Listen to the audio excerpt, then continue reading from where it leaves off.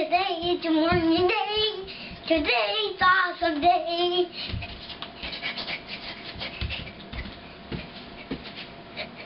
Why is today awesome? As this is.